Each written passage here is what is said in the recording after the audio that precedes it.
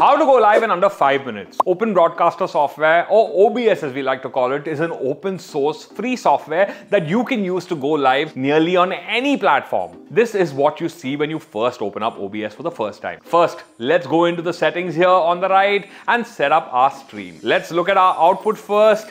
This is the most important area to look at for producing a quality stream. If you want to stream at 1080p and 30 frames per second, you need an upload speed of approximately 3.8 to 7.4 MB per second. If you plan to stream games on YouTube or on Twitch, you need an upload speed between 5.6 and 11 megabits per second, which means you can have your bitrate between 5000 to 8000 KB per second. If you're a gamer with a slightly slower connection, you should move all this to 720p at 60 frames if you can't use it at 1080p. Remember that a lot of your your audience is watching you on a cell phone anyway. So make it the best connection possible. Don't stress too much about the quality. The most important thing is you don't want your stream to buffer at all because this will definitely hurt your viewership. Next, select your encoder. If you're using a PC with an NVIDIA graphics card, then use the NVENC encoder. Otherwise, select X264, which is a decent encoder by itself. Set your audio bitrate to 160 and your encoder preset to very fast. This will give you quite a good quality image,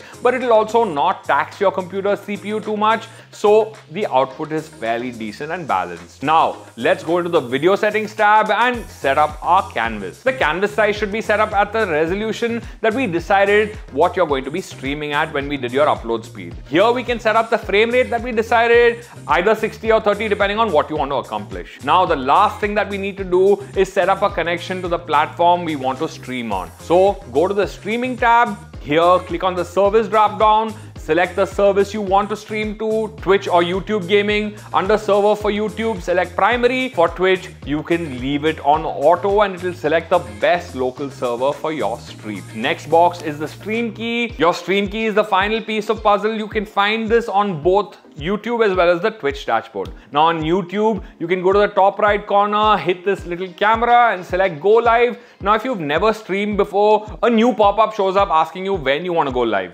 We'll hit start right now since that's the plan. Next, we'll select an external streaming device since we are using OBS. Now on the new page at the bottom right, copy the encoder stream key and paste it in the stream key box back in OBS. For Twitch, log in and click the icon in the top right, select settings, then select channel, then videos, the stream key as at the top. Copy it out and paste it in the stream key box back in OBS. Now we are all set up to stream. Let's create our first scene so we can go live. OBS uses a very straightforward scene structure. Each scene can have different elements like your webcam, an image and video, any branding, overlays, or even music for that matter.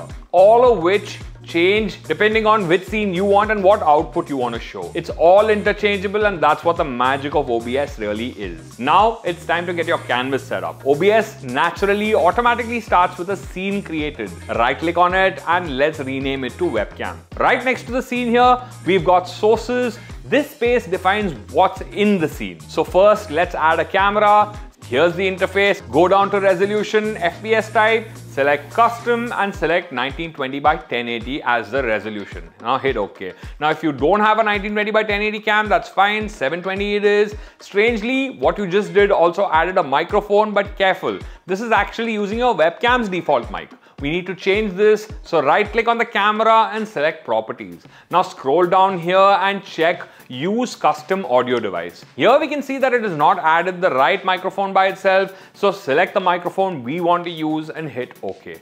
That's it. You've got everything you need to go live all within 5 minutes. Now you're ready to hit that start streaming button which will get you directly off to YouTube, Twitch or any other platform that your heart desires depending on what you set up of course. If you want to learn how to do more than just add a webcam and some audio, in the next video I'm going to set up a whole stream from scratch. So subscribe to the channel, hit the bell notification, I'll see you in the next one.